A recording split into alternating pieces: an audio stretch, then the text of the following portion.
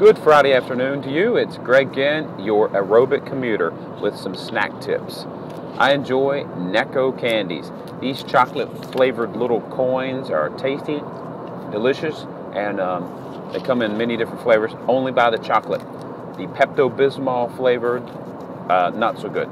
The other thing I always recommend carrying with you are bottles or bot- multiple bottles of water.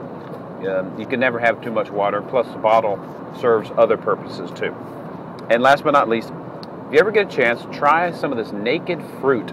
It sounds bad, but it tastes great.